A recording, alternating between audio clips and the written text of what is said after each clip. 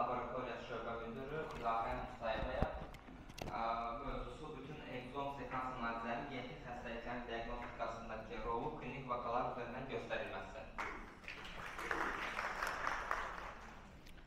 Ön Öncəliklə hər birinizi salamlayıram. Ee, mən bu gün sizlərə öz belə deyim də bir 5 il olar artıq çalışıram bu sahədə. Qısa bir müddətdir. O qısa müddətdə nələr aşkarlamışamsa, nacizanə bilginizə sığınaraq onları anlatmaq istəyirəm.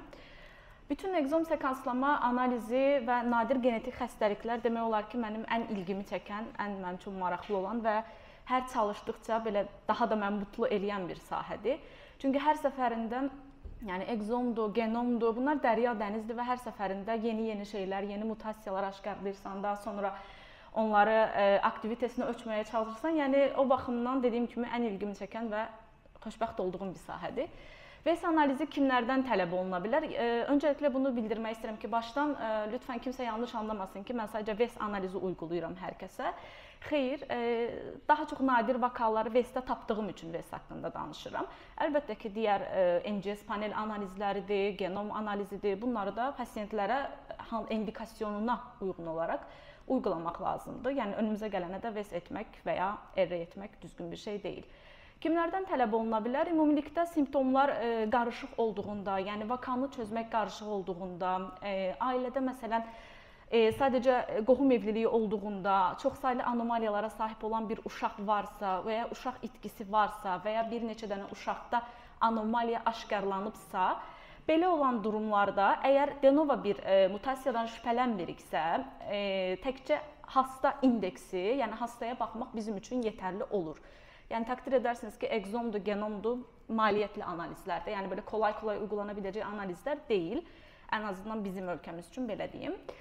E, ancaq de novo bir mutasiyon olma ehtimalından şübhələniriksə, burada artıq trionu uygulamaq məcburiyyətində, yəni doğru olması gərəkən budur. Trio sekanslama analizi aparılır. Ana ata indeks birey birlikdə e, kontrol olunur və həmçinin daha öncəki genetik testlərin diaqnoz qoya bilmədiyi, diaqnoz qoya bilmədiyi deməyək də neqativ olaraq sonuçlandığı, amma biz hala bir genetik bir hastalıqdan şübhələniriksə, ekzom sekans analizini pasiyentə uygulaya bilərik.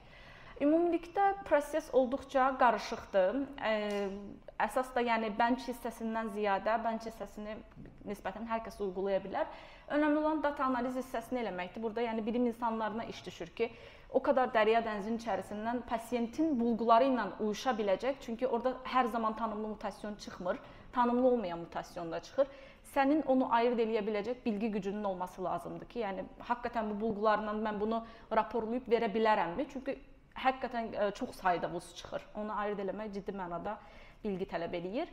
Bioinformatik analiz proqramı olaraq daha öncədən Galaxy-ni kullanırdım. Galaxy Project, amma hal-hazırda Seconomize-la birlikdə çalışıram və qayətdə məmnunam. Bir sıxıntım yoxdur.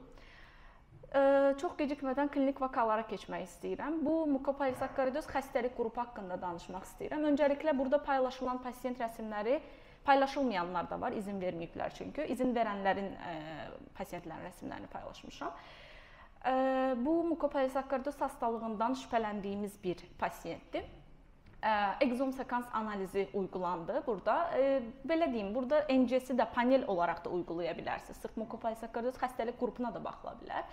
Ancaq ailə tələb elədi ki, mən orada əlavə başqa hansı hastalıqlar üçün daşıyıcıdırmı, deyilmi? Yəni sadəcə primer bulqular deyil də, orada sekonder və ya insidental bulqular varmı, onları da görmək istəyirəm ailənin istəyi yönündə ekzom sekans analizi uyğulandı və Gans genində homozigot e, və yüksək olasılıqla patogenik olma ehtimali olan bir variant aşkarlandı. E, Gans geni də mukopolisakkarodoz 4A hastalığına yol açmaqdadır və xəstənin klinik bulquları ilə də uyuşurdu tapdığımız bir mutasyon.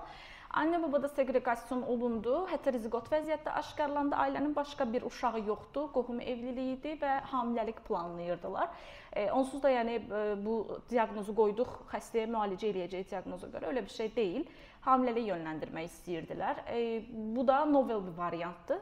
E, muhtemelen yəni bir zamanım olunca makaləsini yayınlayacağam deyə ümid edirəm. Franklin ümumi database olaraq kullanırıq. Franklində biz nəyə baxırıq? E, patogenik olma ehtimalı olan və ya patogenikdimi nə dərəcədədir? Onun e, bu digər e, klinik кейslərlə qarşılaşdırıb bu şəkildə e, bizə bir dəyər verir. Burada da gördüyünüz kimi e, nadir novel variant olmasına rağmen likely patogenik ilə patogenik arası bir dəyər verirdi həmin e, mutasyon üçün.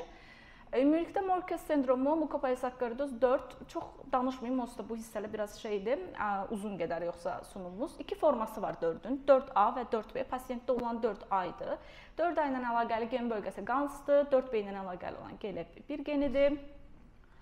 Genel 4A-dakı klinik xüsusiyyətlər bu klassik formaya görə və ə, yüngül formaya görə dəyişir. Ə, klassik forma ən çox yayılmış tipidir 1-3 yaş arasında baş verən skelet sistemi ilə əlaqəli simptomlar özünü biruzə verir. Yəni immunitet skelet sistemi ilə əlaqəli bulğulardır. Onun dışında oynaq ə, malformasiyalarıdır, dismorfizmdir, dismorfik üz quruluşudur. Ə, gözdə okulyar bulğular verə bilir, ə, dental bulğu verə bilir, kardiak bulğular görsənə bilir həmçinin.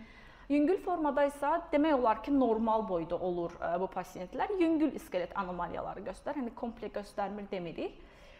Okulyar olaraq isə yüngül dərəcədə buynuz qişanın buludlanması görsənə bilir. Bir sonrakı vakam infantil neuroaksional distrofiya xəstəliyidir. Bu NAD ilk dəfə bu da nadir hastalıqdır. Yəni çox qarşılaşılan bir hastalıq deyil. İlk dəfə 1952-ci ildə diaqnoz qoyulmuşdu. Autozomal resessiv irsiyyət tipinə sahibdir və xəstənin özünü büruzə vermə yaşı 2 yaş civarıdır. Təqdir edərsiniz ki, ölkəmizdə qohum evlilikləri çox olduğu üçün bu qədər nadir xəstəliklə qarşılaşırıq.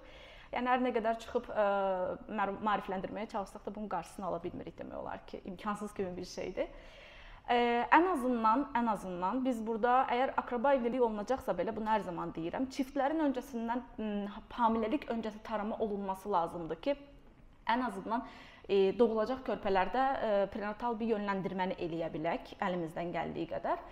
INAD-da xəstəlik e, körpə dövründə xəfif e, psixomotor və distoniya pozğunluqları ilə özünü büruzə verir. E, ciddi bir hastalıqdır. Udqunmada çətinlik özünü büruzə verir. MRT bulğuları olur həmçinin həmin pasiyentlərdə. Bizim xəstəmizdə isə 2 uşaq idi ailədən. Hər ikisi akraba ilə dünyaya gəlmişdi və e, yəni şöyle düşünün, bir uşaqda problem olub, ailə təkrar prenatal eləmədən ikinci uşağı eli dünyaya gətirib belə deyim. Və ikinci uşaqda da maalesef ki, aynı bulğular var, cinsiyyətləri fərqlidir. Biri qız, biri oğlandır. Hər ikisində də əzələ distrofiyası, inkişaf geriliyi, mental retardasiya və yerimədə çətinlik.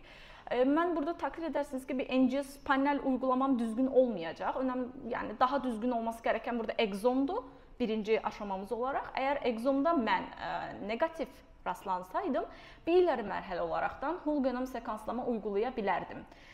Genəldə ekzomda yekunlaşdırıb raporlaya bilirik və PLA2G6 genində körpələrdə homozigot, anne babanın seqreqasiyasında isə heterozigot olaraq bu variant aşkarlandı. Bu yeni bir mutasyon deyil, klinik ədəbiyyatda görsənən bir mutasyondur. Bu məni çox həyəcanlandıran bir vakadır. Çünki Pearson sindromu bəlkə oxumusunuz da sosial saytlarda. Çünki bu haqqda məlumat verməyə çalışdıq, çalışdım bacardığım qədər. Çünki nəyə görə maraqlıdır? Çünki zaten dünya üzərində cəmi 30 dənə ailədə Pearson sindromu görsənibdir. Bu qədər nadir bir vakanın görsənməsi və həmçinin vaka ilə əlaqəli olan mutasiyanın nadir olması, yəni daha öncə bir klinik ədəbiyyatda olmamış olması tabii ki də həyəcanlandıran bir durumdur. İki çocuqdur yenə, qız e, uşağı və oğlan uşağı. Qız uşağı 11 aylıqkən dünyasını dəyişir, e, oğlan uşağı 7 aylıqkən. Hər ikisində okulyar anomaliya var, həmçinin şiddətli renal yetməzlik var idi. Maalesef ki, uşaqlara aid e, hər hansı bir əlimizdə material yox idi. DNA kalıntısı və ya kan hər hansı bir şey yox idi. Sadəcə anne babanı mən ekzom eləyə bildim və hər ikisində Pearson sindromu ilə əlaqəli olaraq LAMP2 genində daha öncə klinik ədəbiyyatda görülməmiş heterozigot mutasiya aşkarladım. Akraba idi bunlar, əmi-oğlu, əmi qızı idi.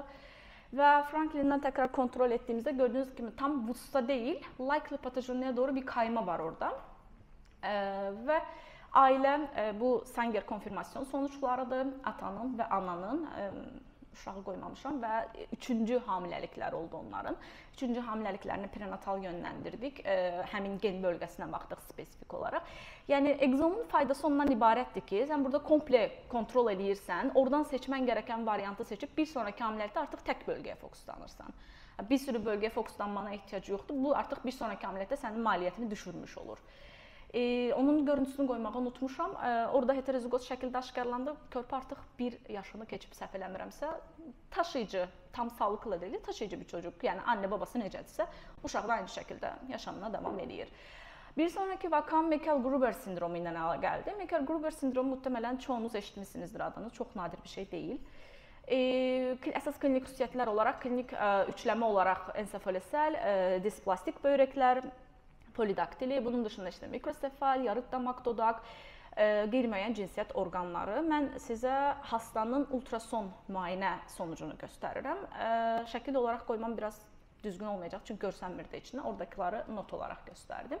İkinci e, bu prenatal diaqnostikada aha burada UZI nəticəsinə görə başın forması anormal, ənsə nahiyəsində sümük defekti, ənsə baş beyin yırtığı var idi uşaqda üz truları tam diferensiya olunmamış vəziyyətdə idi. Ətraflarda displastik əllər, ayaqlar fleksor vəziyyətdə. UZI, UZI nəticəsinə görə artıq həkim yazmışdı ki, Meckel-Gruber sindromu ola bilər, soru işarəti və qohum evliliyi idi. Əmi qızı, əmi oğlu. Daha öncə hamiləlik itkisi olmuşdu. Bu ikinci idi. 13-14-cü həftəlikdə olan UZI nəticəsidir. E, ata, ana e, abort nümunə təəssüf ki, itkidə idi. Akıl etməmişlər abort nümunəni gətirsinlər. E, ata, ananı kontrol elədik və klinik ədəbiyyatda olan bir mutasiyonu aşkarladıq. Meckel-Gruber sindromu tip 6, CC2, D2A genində anne babanın hər ikisində heterozigot mutasyon aşkarlandı. E, buradan da yenə Franklin görüntüsünü görə bilərsiniz. Bu artıq VUS deyil və ya VUS-u keçmiş bir şey deyil. Direkt likely patojenik keçib patojenik olma ehtimalı yüksək olan bir variantdır. Bu ailə qrupumuzda çox ə, e, maraqlı bir ailə qrupumuzdur. Pontoserebrallar hipoplaziya xəstəlik qrupu. Ə, burada ə, e, deməli ailə akraba evliliyidir yenə. Dəqiq hatırlamıram bibi qızı və ya əmioğlu, amma birinci dərəcədən akraba evliliyi idi və İki dəfə ilk iki hamiləliklərində, hamiləliyin 19-20-ci həftəsində e, beyincik inkişafının durması UZI nəticəsi bu şəkildədir. Üçüncü hamiləliyə gəlib, hani 2-dən e, akıl etməyiblər ki, artıq bir durmaq, bir yönləndirmək lazımdır. Üçüncü dəfə hamilə qalıb, sağ olsunlar. Üçüncü hamiləlik də bu şəkildə olubdu. 21-ci həftə beyincik inkişafının durması və təşəkkür edirəm ailəyə ki, artıq anne qarnındaykən gəldilər ki, biz abort eləyəcəyik, nə etməliyik? Hani direkt dedim bir zahmet abortu da gətirin, özünüz də gəlin. Çünki mənim üçün ə, e, sadəcə sizi yoxlamağımdan ziyadə əgər e, dediyim kimi mən ailələrə tamam diaqnoz olaraq baxıram, işim gərək, amma e, bir də bir elmi araşdırmacı olaraq research tərəfindən baxıram. Hər nə qədər bilmirəm, nə qədər etik sayılsa da, sayılmasa da, onlar hamısı mənim üçün çox maraqlı vakalardır. Abort nümunədən DNA-nı ayırıb direkt saxladım. Bacardığım qədər stokladım DNA-nı, çünki artıq abort itkiyə gedəcəkdi. Ata-anadan ailənin gücü trioya yetmədi. Ona görə ata-anadan egzom sekanslama istədim. Çünki ata-anaya başa saldım ki, okey, bu iki hamiləliklə əlaqəli mutasyonlara baxacağıq, amma ya başqa bir şeylə də əlaqəli daşıyıcısınızsa, çünki siz akraba evliliyi eləmisiniz. Hani bunu riskə atmayaq. Abort dursun bir kənarda. Mən sizə öncə egzom sekanslama eləyim. Egzom sekanslama sonucuna görə hə, burada yazmışam bir qızı da oğlu. Ə, deməli, bir saniyə. Okay. E, valideynlərdən birində 9-cu ekzon bölgəsində e, misans mutasyon aşkarlandı. Bu daha öncə klinik ədəbiyyatda görülməmiş bir mutasyon idi. Ancaq e, zərərli xəstəlik Franklində də maalesef VUS vəziyyətindədir. Yəni tam onu yenə deyirəm, burada artıq görəv bizə düşür ki, tam mən ayırd eləyim ki, mən bu VUS-u raporlamağa dəyərmi, dəyməzmi? Raporlamağa dəyərdi. Nəyə görə? İndi anladacağam sırayla. Bu annenin sonucudur. Bayaq dediyim tək bölgə mutasiyası gördüyünüz kimi iç-içə keçmiş vəziyyətdədir. Babada isə 9-cu ekzon yenə aynı ekzon, fakat farklı bir mutasyon. 4 baz silinməsi və avtomatik proteinin trunkate olmuş vəziyyətdə idi. Zararlı hastalıq səbəbi ola bilər ehtimalı, yəni patogenik olaraq direkt göstərirdi Franklində. E, şimdi bu ikisini bir kənarda tutdum. Əlimdə mənim abortun DNAsı var idi. Bunu kontrol edib konfirm eləmək istəyirəm ki, bu körpənin ölümünə səbəb olan həqiqətən budurmu? E, bu babanın sonucudur. Orada gördüyünüz kimi 4 bas silindiyi üçün artıq iç-içə keçmiş bölgələri görürsüz taşıyıcı olduğu üçün. O, bu iki variant bu şəkildə dursun. E, bu isə abortun nümunəsidir. Yəni bayaq olan görüntüləri hatırlayırsınız yəqin ki, bu bir tərəf e, annəyə aid, bu iç-içə keçmiş babaya aid. Yəni bu şu demək, Bu iki mutasyonu körpə kompound heterozigot vəziyyətdə daşıyır. Mən artıq bunu isbatlamış oluram. Təbii ki də bu bu şəkildə getməz. Hani bir research məqaləsi yazsan, daha ileri çalışmalar istəyəcəklər səndən. Case report olaraq yayınlamaq üçün bir funksional çalışması da yapılması lazımdır. Yəni bu bu şəkildə bu mutasyonu tapdım, mən bunu raporluyum. Öyle olmur. E, ama bu ailenin biz bir sonraki hamileliğini yönlendirdiği. Ailenin artık bilgisi var ki Rarski geninde mutasyon taşıyor, zararlı mutasyon taşıyor ve e, atozmal resesif bir hastalık olduğu için her hamilede %25 bir ihtimal var ki hasta çocuğa sahip olsun. 3 uşaq zaten itkidədir. Bir sonraki hamiləliklərini, səhv etmirəmsə hələ hamilə qalmayıblar. Hamiləliklərini artıq biz takip edəcəyik. Bu bir başqa ailəmizdir. Bunda new mutation deyil, amma sadəcə qoymaq istədim ki, differensial diaqnostikanı VES-lə necə aparmışıq. Qohum evliliyindən doğulmuş bir körpəmizdir. Nevroloqun yönləndirməsi ilə gəlibdi. Skolyoz, inkişaf geriliyi, əzələ distrofiyası körpənin öz şəklidir. Yuxu davranış pozğunluğu, intellekt normaldır və çox bayağı bir zeki uşağı idi. Dediyim kimi heç bir geri qalan sıxıntıları var idi uşağın. Normal məktəbinə davam edirdi. Uşaqda ekzom sekanslama analizi apardıq və LAMA2 genində homozigot tanımlı bir mutasyon aşkarladıq. Zaten database'lere göre patojenik olarak tanımlanmış bilindik bir mutasyondu. Şimdi bir sonraki ailəni danışacağım və aranızda researchla məşğul olan bilim insanları vardır. Sizlərin də köməyinizə ehtiyacım olacaq bu konuda. Çünki çox maraqlıdır mənim üçün bu hissə. Nəyə görə? Şimdi iki tane aile düşünün. Bir ailə Beyləqandandır, bir ailə Sabirabaddan.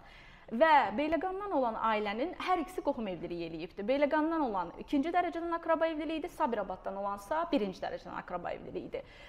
Öbür bir ailədə iki uşaq ixtiyozla dünyasını dəyişibdi, doğulub dünyasını dəyişib. Bir ailədə isə biri uşaq ixtiyozla doğulub dünyasını dəyişibdi.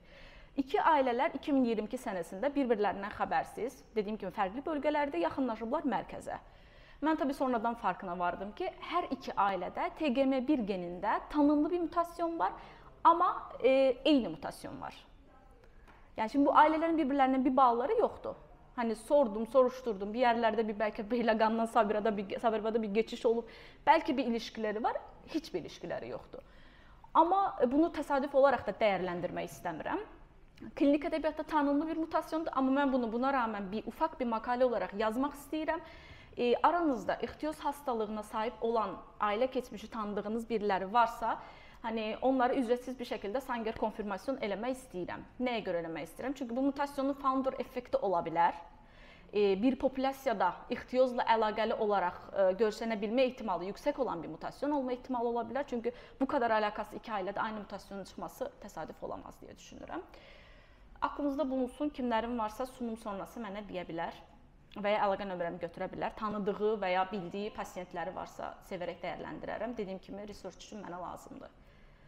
Bu onların ə, nəticə screenshotlarıdır. Ən sonuncu vakamız, e, bu demək olar ki, bir həftə öncə bunun diaqnozunu qoydum. Olduqca maraqlı bir vakadır Porfiriya Tarda. E, duymuşsunuzdur bəlkə çox hani bir şey bir e, bilinmədik bir şey deyil. E, bilinmədik tərəfi olan uşaqda aşkarladığı mutasiyanın klinik ədəbiyyatda olmamış olmasıdır. Yəni new mutation olmuş olmasıdır. Klinik bulgular olaraq qaraciyər də bulgular verir həmin pasiyentlər. Dəridə zaten bilindik bulgulardır. İşığa UV-yə həssaslıqları var. E, əllərində uşağın şəklini göstərəcəm. E, bu uşağın uşaqlıq və bir digərində isə hal-hazırdakı halını görürsüz. E, və uşağın uşaq dediyim artıq böyükdür. Əlləri, əllərdəki ləkələri görürsüz və 2-1 və ikinci dırnaqların olmadığını və əllərdəki yaraları görürsüz. Uşaq hər işığa çıxdığında rəngdə, rəngində, bədən rəngində dəyişiklik olur, nisbətən maviyə çalır rəngi. Bunun xaricində də ciddi dərəcədə dediyim kimi yaralar oluşmağa başlayır, infeksiya qapır uşaq. Bu ailə zaten hast doktoru bunun yurt dışındandı yanır sanırsam. E, bu zaten porfiri tanısı koymuştu ama bunu daha e, sonuçlandırmamıştı. Egzom analizi istemişti bunu sonuçlandırmak için. E, bu uşağın e, 24 saatlıq sutkalıq sidikdə yüksək miqdarda aşkarlanan porfirin dəyərləridir, üroporfirindir, koproporfirindir, hepta karboksi, heksakarboksi porfirinlər və pentakarboksi porfirinlər yüksək aşkarlanmışdı. Zaten avtomatik olaraq do dolayısıyla doğrudan deyim də, doğrudan olaraq porfiriya tardayla əlaqəlidir klinik bulğuları ilə də. Uşaqda aşkarladığım urod genində homozigot mutasiya aşkarladım və dediyim kimi klinik ədəbiyyata daha öncə ə, göstərilməmiş bir mutasiya idi. Gördüyünüz kimi VUS-u bayağı bir geçip likely patogeniye çok yakındı.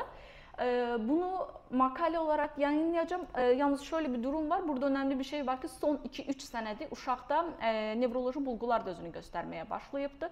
E, Bununla bağlı elmi araşdırmalarda sadəcə bir dənə case report tapdım. Hmm, Hatırlamıram, yurt dışında Çinli bir ailədə böyle bir çalışma var. 26 yaşında kız uşağında. Urod genində bu mutasyon değil. Sadece olarak porfiriyatarda tanısı koyulubdu. Yanaşı olarak e, birkaç senedir de nevroloji bulguları olduğu için MRT'de e, beyaz maddede değişiklik saptanıbdı. Bu uşağın daha MRT'si olmayıb. Dediyim kimi bir hafta olar bunu daha yekunlaşdırmışam. E, daha tamamlanmamış bir çalışmadır. Çünki bunun mən urod enzim aktivitesini də ölçdürəcəm. E, artı e, həmçinin anne babanın da segreqasiyası olunacaq və həmçinin MRT-sinə də baxacağam ki, körpədə yəni vəziyyət nə yerdədir. Məncə bitdi.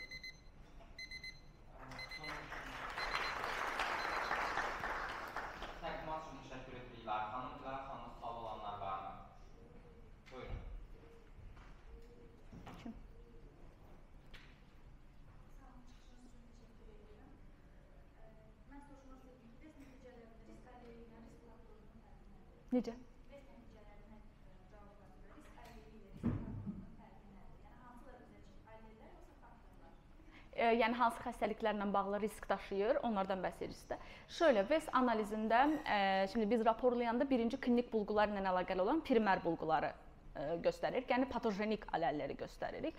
Bir sonraki ikinci mərhələ təbii bunu öncəliklə ailənin iznini almaq lazımdır. Ailədən soruşuruq ki, siz əgər burada ikincil bulgular, yəni başqa risk aləllərini də görmək istəyirsinizmi?